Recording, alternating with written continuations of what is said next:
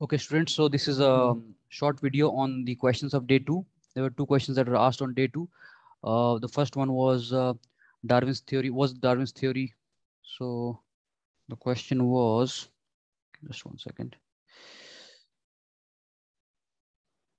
Hmm. So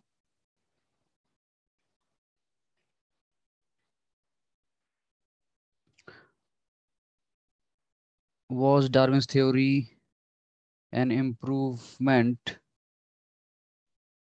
over that of Lamarck? And the second question was regarding competitive exclusion, which is nothing but Gause's rule or Gause's law. Okay. So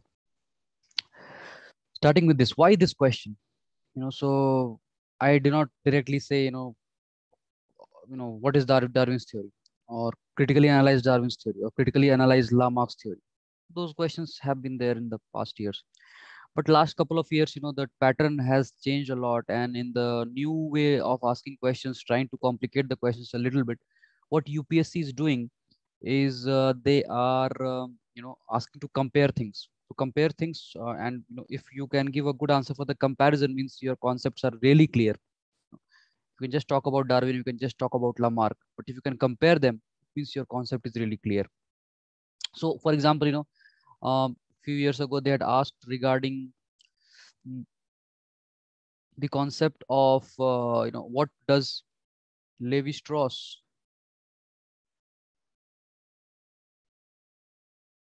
you know have to say and what does Radcliffe Brown have to say as far as uh, your uh, kinship is concerned. So uh, regard uh, regarding kinship on kinship, what does Levi Strauss say? What does Radcliffe Brown say?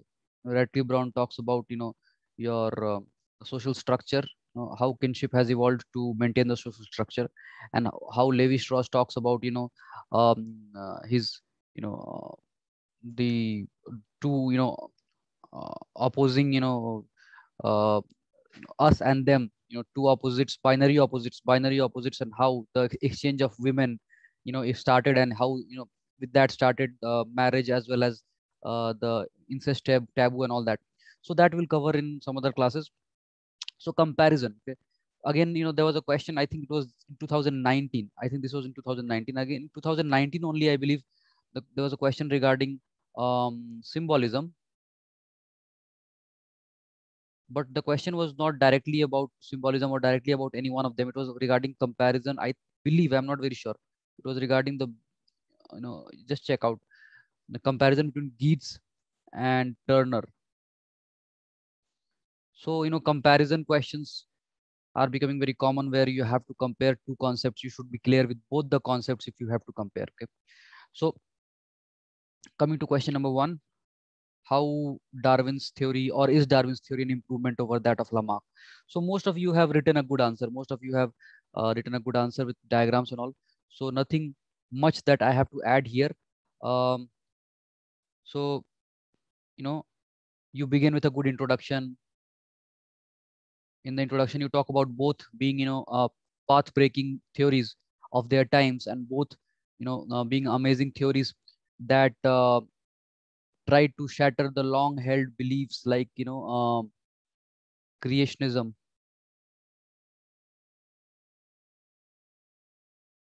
So what is creationism? Creationism is just the opposite of you know opposite of evolutionism So evolutionists believe that things have evolved. So we have, if we are, you know, here, we are here because of a long, you know, a chain of evolution that made us humans and man like what we are today. We have evolved from an ancestor which was not like us. And creationism talks about creation by God. In, in Bible, you know, uh, uh, in Bible or in any of the religious texts, you know, it's about God having created. In fact, some scholars give an exact date that on the you know 7th of this uh, september this you know god created man and all those things. So that is creationism. So you know whether lamarck or darwin both of them challenged this creationism and you know championed evolutionism they challenged essentialism. What is essentialism? They challenge creationism they challenged essentialism. Essentialism is you know uh, basically the uh, the belief that used to be held earlier that everything has its essence. So a cat is a cat because it is a cat you know. It has all everything that it makes it cat and that's why it's cat and it can never you know be anything other than a cat. A cat has always been a cat. When god created a cat it was a cat. It has always stayed like a cat. Man has all the features that we have today we have been born with these features and these features have stayed forever and we'll we are always there like this and we'll always you know be like this. So no change you know, that thing was challenged. You know both of them talked about change you know. Lamarck talked about the giraffe necks being you know, getting getting longer and longer and longer over generations. And darwin definitely talked about you know natural selection and evolution. So in introduction you can talk about both being you know revolutionist theories of their times challenging the long held you know fortresses of creationism essentialism and championing evolutionism. Okay so that will be your intro.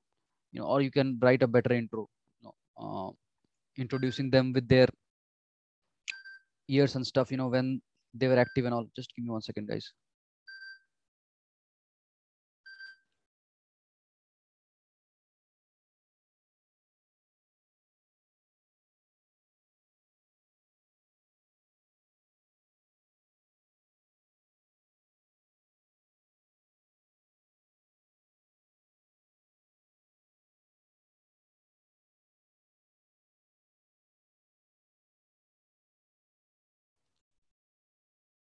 yeah. I hope you can see me and hear me. So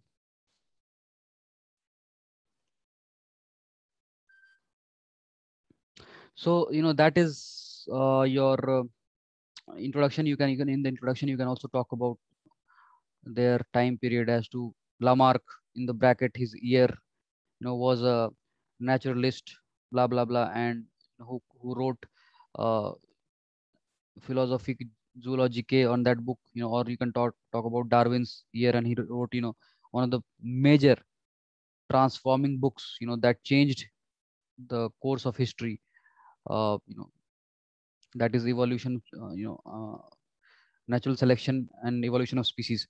So uh, so you know the so that is about introduction. After introduction um no, you you can talk about the positives of Lamarck. You can begin with Lamarck. So all of you have already done this. You know, I'm just repeating it. Lamarck, most of you have done it, not everyone. So Lamarck, some positives. You know, one of the major positives being you know, that, uh, as I said, he was you know the, one of the first to propose about you know there being change and not constant uh, status of the species, species changing and not being constant.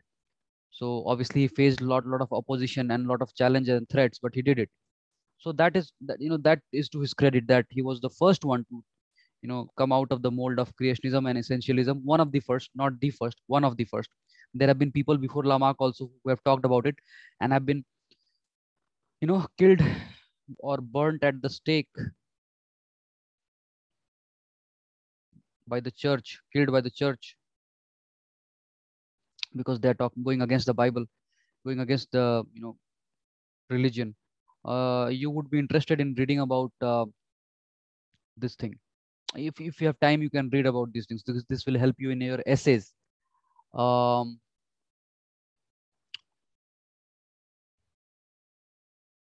i'm forgetting the word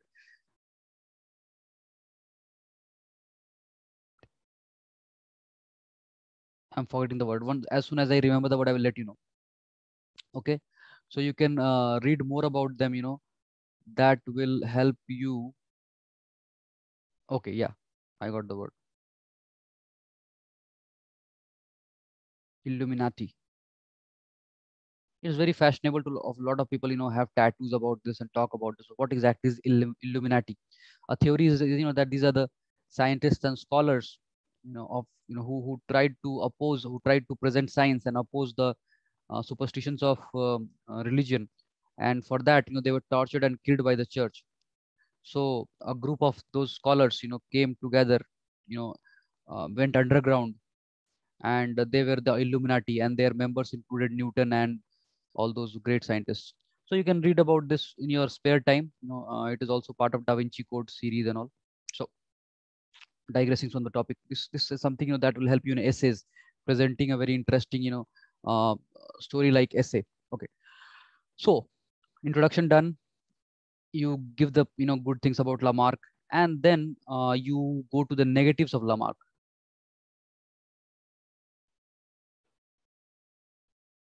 So, you know, Lamarck talked about the four postulates.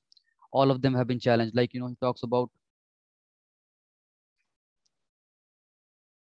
So, you know, just because I have desire, inner desire, you know, inner force that, you know, wants me to grow, I'll keep on growing. It is unscientific, cannot be proven, has not been proved to be correct. Then he talks about, you know, uh, changes being inherited in the same generation or, you know, changes that I acquired, I will pass on to my, you know, child. But that doesn't happen, you know, because if that would have happened, then all children children in India would have, you know, would have been born with pierced, you know, eyes, uh, pierced, sorry, pierced nose and ears, because for thousands and thousands and thousands of years, our uh, mothers have been, you know, having pierced noses and, uh, you know, pierced ears. So, and then you can also cite this, I think it was why wise man. Weismann's experiment where he cut you know the tails of mice for more than 20 generations but still the next generation was born with the same length of the tail. So these you know things i have already mentioned the four four uh, postulates can be criticized. So that gives there goes the criticism of uh, and then after criticizing lamarck you can enter into the positives of darwin. Positives of darwin uh, over lamarck. So you know first of all it's very uh, scientific and uh, based on observations. And not just assumptions. Obviously because you know lamarck assumed that you know the giraffe's neck was, was shorter. He did not go through the fossil records.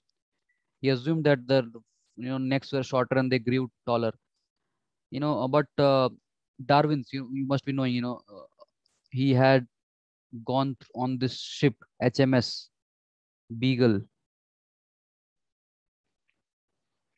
His majesty's ship you know it's, it's a british ship beagle on which he went to several parts of the world like you know southern australia. That part is called darwin today. There is a city in Dar- uh, darwin in australia. It was named after darwin because darwin went there to study fossils. He went to the you know uh, Chilean grasslands, the Chilean pampas grasslands. He went to uh, most interesting Galapagos. You know, you guys must watch some videos on YouTube regarding Galapagos. It will really help you in environment ecology questions. Galapagos Islands, you must must watch some documentaries on Galapagos Island on YouTube. Very interesting and very uh, enriching and will help you in environment ecology questions so yeah so he visited many places and so he was his observations his his, his uh, inferences were empirical based on facts and observations rather than just you know assumptions. Second thing is you know he said that and it is widely believed and it is widely known now that evolution doesn't work on individuals. Evolution doesn't work on individuals.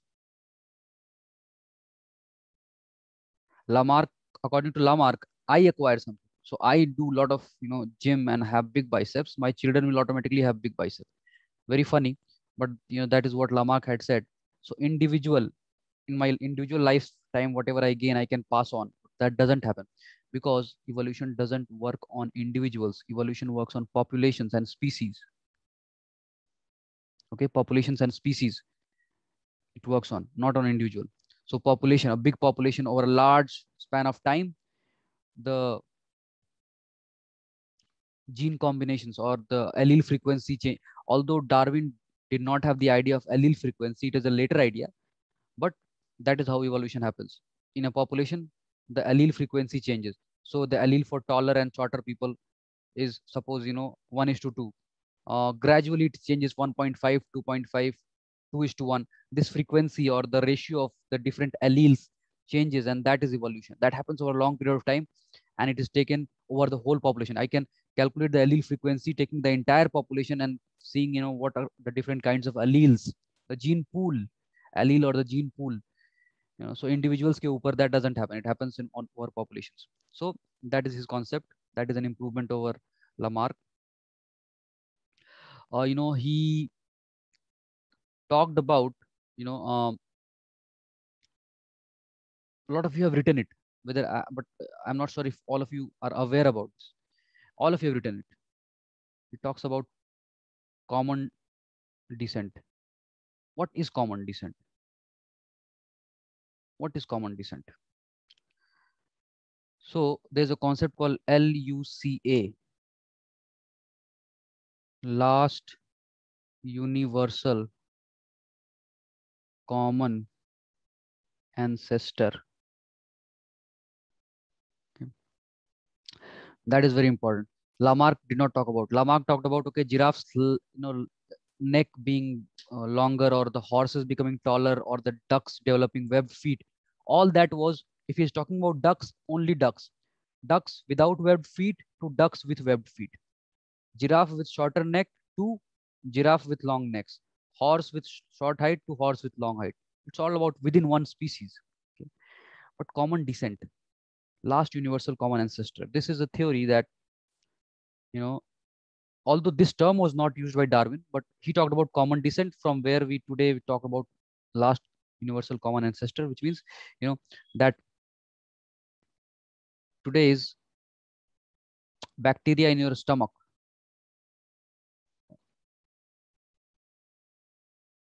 E. coli, it causes, you know, diarrhea and all. Or you can also talk about the good bacteria, or you can talk about the plankton. Or you can talk about the banana tree. It's not actually a tree, the banana plant in your compound or the mango tree if you like. Or you can talk about anything. You can talk about say you know the honeybee or the ant or us humans.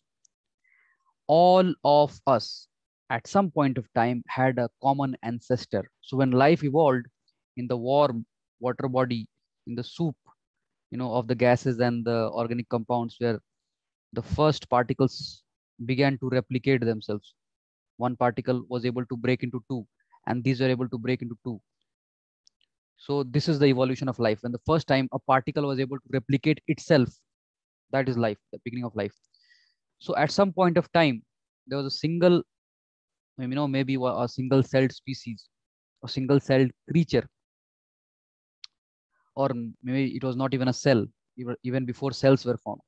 It was something from where every living thing today that exists all living things that are gone from the planet face of the planet and all the things that will appear on the face of the planet they all evolved at some point of time from this and then they diverge diverge diverge and from then multiple diversions from every and like this you know we have millions of species but they may have had or they have had a last universal common ancestor you know? so that concept of everyone evolving from common ancestors common descent it was an improvement over uh, lamarck which lamarck had not talked about okay? Um so these are some of the you know uh, very interesting things that lamarck did not talk about but you know darwin talked about.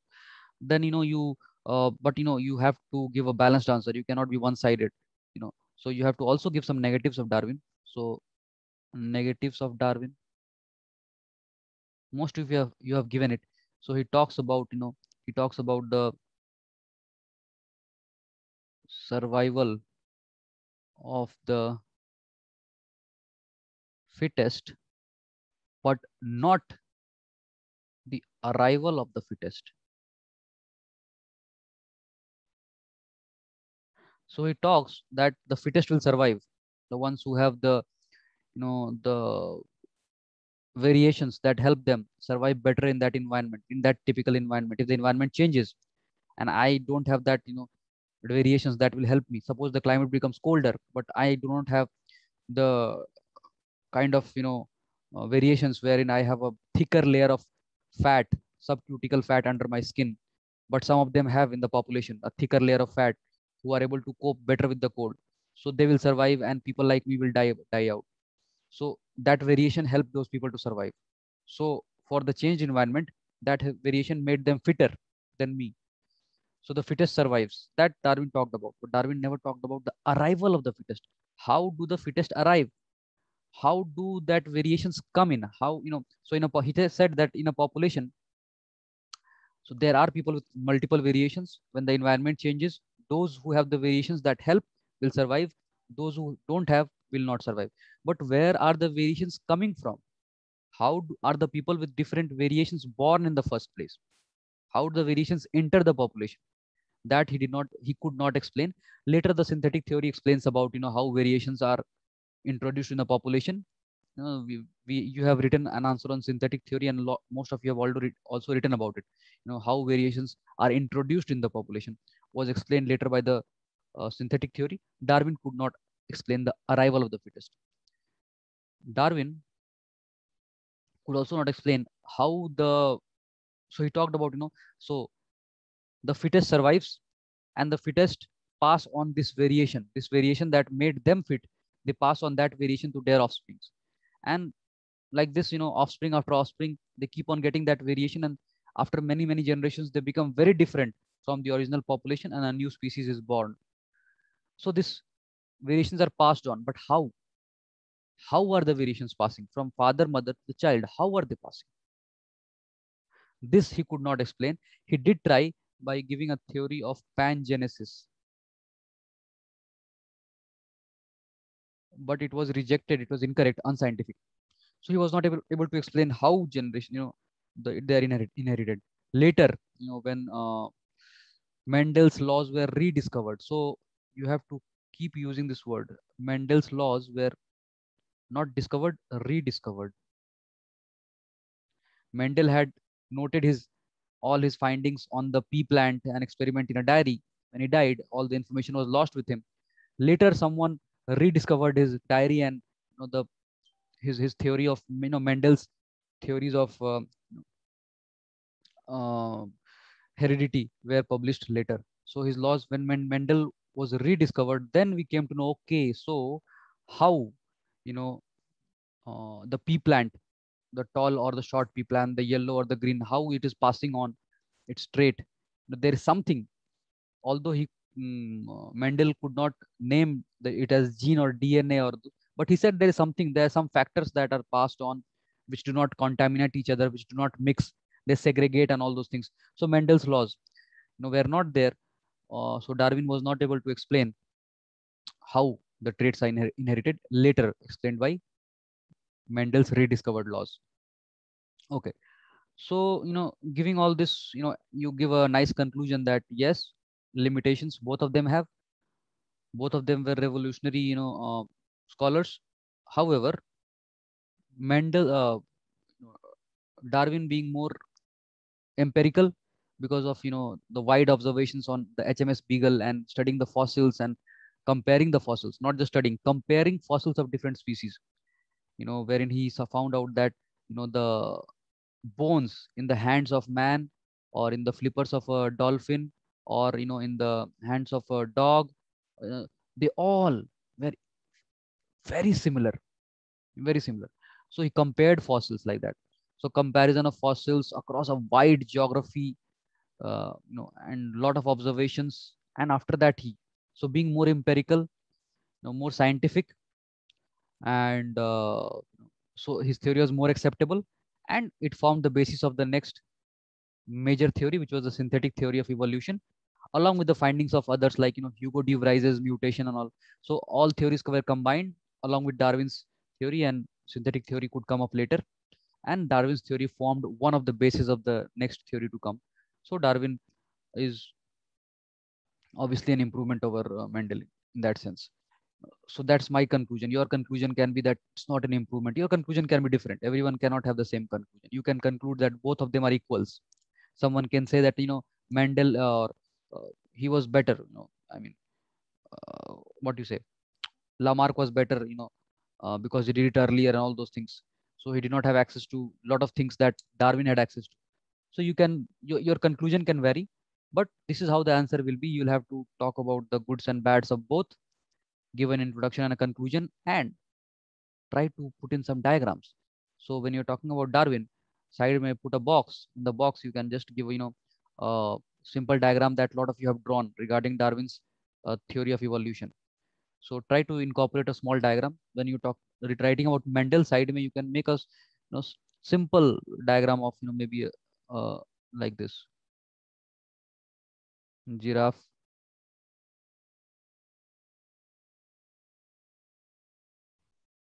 Uh, with longer neck and shorter neck.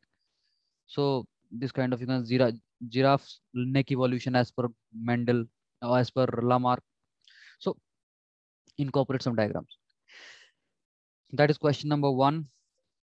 Question number two, competitive exclusion. Almost all of you have written it, except I think one student. Uh, uh, all of you have written quite well. Very fabulous, fantastic, awesome diagrams also. Some of you have not incorporated diagrams.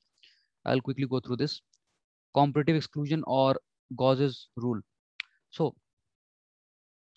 uh, you all have given the you know exact definition also what he said that you know they cannot coexist if they are competing in the same niche if two species if two or more species two or more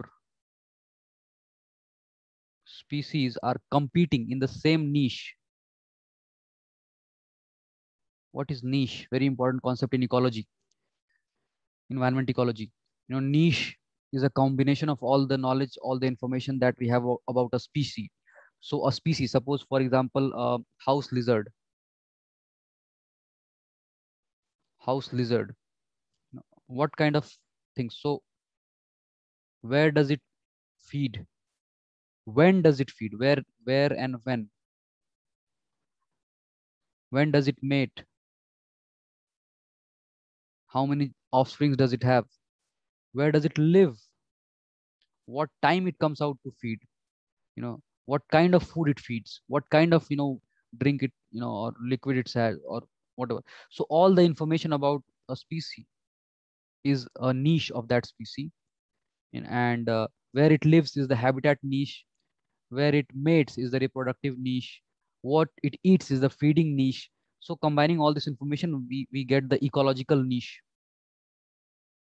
Ecological niche of a species. And no two species have the same ecological niche. So, for example, you go to savanna. there you have the lion you have the uh, leopard both are eating the same animals but some difference will be there. Otherwise there will be a lot of competition. So some difference you know maybe in the same grassland the lions will occupy a different part the leopards a different part. Or if they are occupying the same part normally the lion would maybe you know feed in the morning the leopard in the afternoon. Or you know the lion feeds on the ground the leopard you know climbs up up on the tree to feed. You know it drags its prey some you know some difference they will try to create the species to survive. If everything is exactly same if all the things if you know their time of mating their time of feeding the food they eat that the place they live the water they drink and everything becomes exactly the same. The kind of you know so everything becomes exactly same then they would there will be intense competition and only one will survive. Um, so this is what the Gause's law talks about now he does he did some experiment. You have already you know um, some of you have already shown it you know that he grew uh, Paramecium aurelia and Paramecium caudatum. So aurelia grown alone graph like this caudatum grown alone graph like this. When both of them are grown grown so you know here you can use color pencil so here you can use color pencil. This is the place you know, these are the places where you have to use different kinds of color pencils to make your answers better.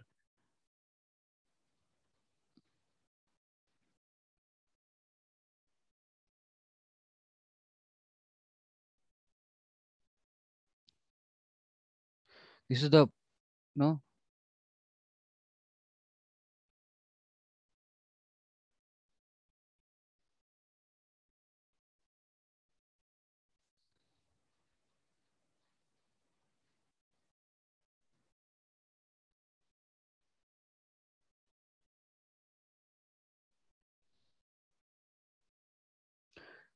So Aurelia grown alone, the blue one prospers nicely. Caudatum grown alone prospers nicely. When both are grown together, see Aurelia's graph goes up and Caudatum after going up, it comes down and it dies out.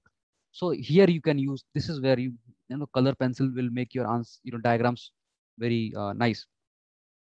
So this is the experiment he did. When they're competing in the same niche, only one will survive.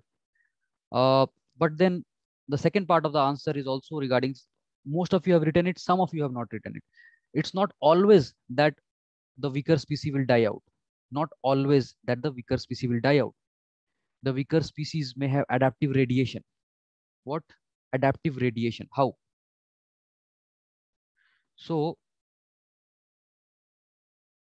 for example uh, this diagram has been drawn by many and it's also in my own notes. So this is a tree you know and let me draw the, draw the tree two three times. It will be required.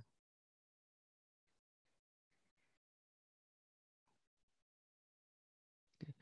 so this is the same tree not three trees. It's the same tree. So from here we go here and then we here we go here.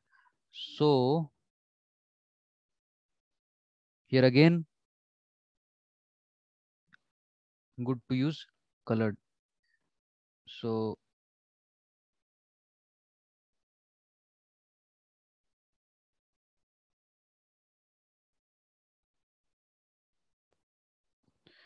So this is, you know, uh, let me first draw the diagram, then I'll explain you.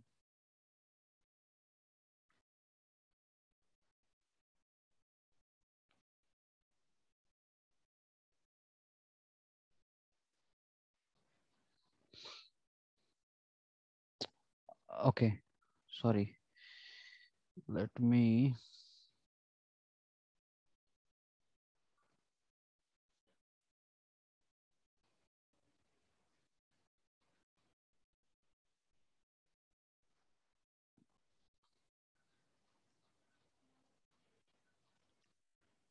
you know on pen and paper it's not very difficult when you guys are trying. So uh, looking at me don't assume that it will be difficult to draw in the exam. But pen and paper it's quite easy, easy but on the tab it's a little difficult you know obviously because all my life although i'm not very old all my life i've written on pen and paper. So that habit you know makes it difficult for us to suddenly switch. It will take some time yeah. So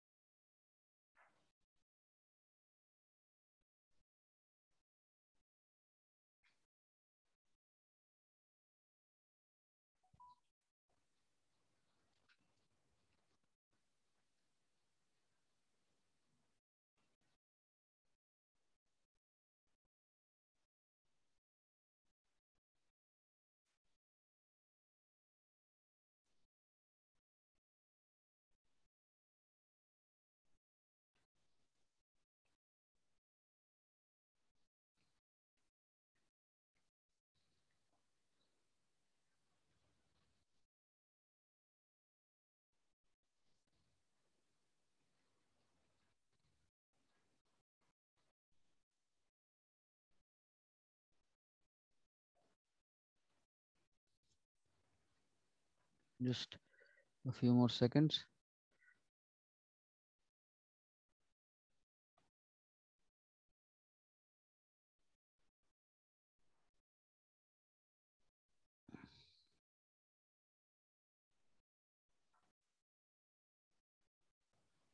Okay. So in the first stage, you know, these smaller uh, birds are feeding on this prey on the tree and on this tree, most of the prey insects, these purple dots are the insects. Most of them are centered around here. So most of the prey is found at the center of the tree. So the green bird happily feeds here. But then another species arrives in the same niche.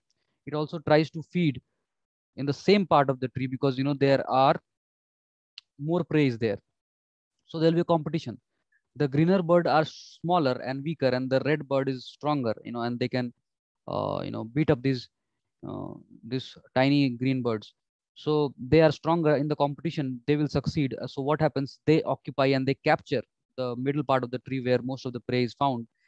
And this poor green bird you know they have two options either to get extinct or to change their niche modify their niche and adapt to this reality this harsh reality. So what they do is they move up and down. So they uh, in the same uh, niche they change their location. So their niche changes. They change their niche this feeding niche of this you know earlier it was here later they move up and down where the prey is lesser. So the prey is lesser so the weaker get you know that portion of the tree where the prey is lesser but they are surviving. And the stronger one captures the middle part of the tree. So this is how you know either so one the first diagram will be about the aurelia and the caudatum where one of them dies off and the second diagram will be this. That shows that it's not always the situation that the you know uh, weaker one dies off it may adapt adapt and you know uh, get at you know uh, change modify its niche and change the time of feeding or change the place of feeding. It can also be change the time of feeding you know. Very often you know when you get up in the morning if you a lot of you study it late at night some of you study uh, get up early in the morning. If you are staying i don't know how rajendra nagar, nagar and Mukherjee are but if you are staying in a place where i stay you know uh, it's quite green and a lot of trees and a lot of water bodies and a lot of birds. So 4 a.m in the morning you hear a bird. And then that type of bird you know will lot of calls of that, bird.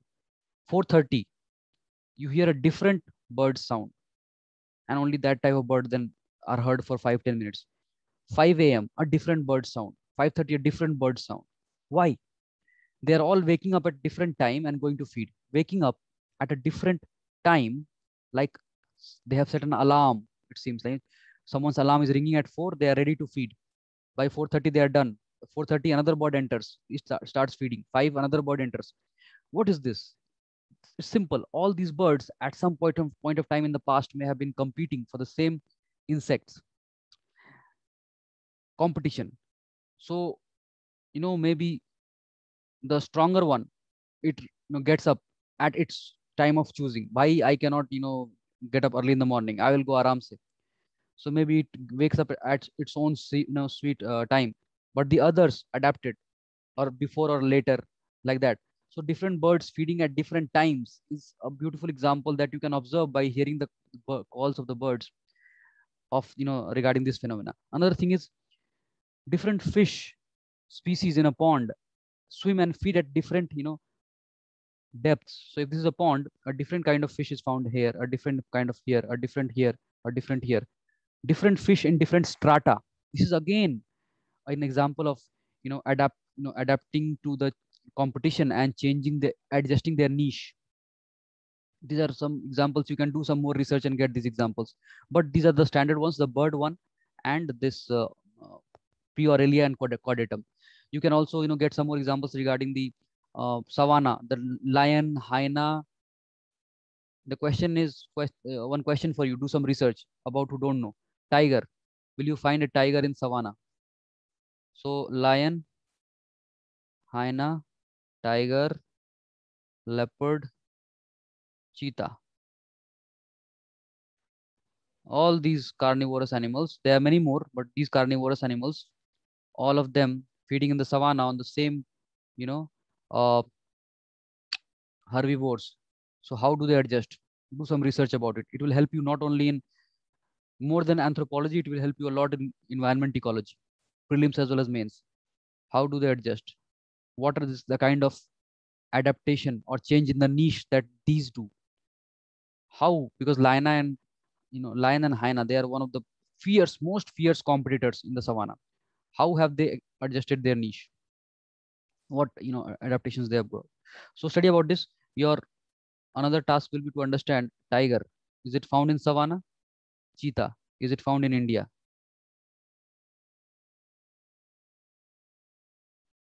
Is it found in savanna and cheetah? Are they found in india? If yes fine. If no why? Okay and cheetah. If not found in india why? Are there any plans of cheetah being back in india how why which countries are involved which place in india uh, will the cheetah again come and all those things. So do some related studies you know reading one topic going to another topic reading so many topics. It will help you a lot especially in your prelims. You know upsc prelims questions are like this. You know they ask a lot of interrelated auxiliary questions that are outside you know connected outside you know. Um, so so there is a current affairs happening. A topic is connected you know, remotely to this current affairs. They will ask from that remotely connected topic. So you can study all that if you do this kind of link study. So if i'm studying about cheetah is cheetah there in india or not? Okay. If yes where? If no why? Is cheetah you know so so if it is being reintroduced why? Where? Why not at any, any other place? Why only at that place? Where is it coming from? Which country? What is the current status did india try some other countries as well? Some countries refused some agreed all those things you know so all this. Okay. So that will be it guys. This is the video. I had planned a very short video but it became a little longer. So this is a video for questions of day two. Shortly you know maybe tomorrow i'll make a video on the questions of day three and then then day four and like that. Uh, today is saturday. Tomorrow i will give you i think around five six questions on the same 1.4 1.5 in the telegram group and you have to answer all those five six questions. That will be the end of this week of that will be end of the free answer writing answer improvement program okay? And i'll also make a video for those five six questions. So you'll get video discussions like this. Mm, in our actual answer writings you know that is starting from 15 november the paid answer writing uh, test series answer writing practice uh, series there also will have this kind of uh, Uh, videos and all. Yeah. So that will be it. Thank you guys. Bye bye